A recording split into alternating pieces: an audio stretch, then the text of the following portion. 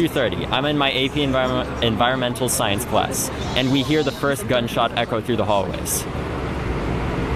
Our first response was, that sounded a lot like a gunshot. And we close the door. We tell our teacher she closes the door, and right after she does that, the fire alarm gets pulled. In all honesty, it was more shock than anything. We thought this was a drill initially because we had been having rumors that there was going to be a code red drill for a while, and we thought this was a drill at first, but then we started seeing the headlines. People started freaking out a little bit. It turns out that we were actually running towards the school shooter. And thank God for a janitor stopping us right before we got anywhere near close to the freshman building.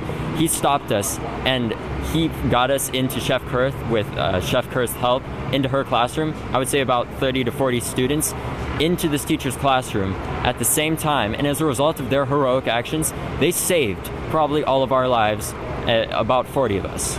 So right now we're in a school, an active shooter. It's not a drill, and it's currently Hello. it's 2:52. Um, where are I you right heard now? gun. I heard one gunshot, and we thought it was a drill initially, but it's Oh. not.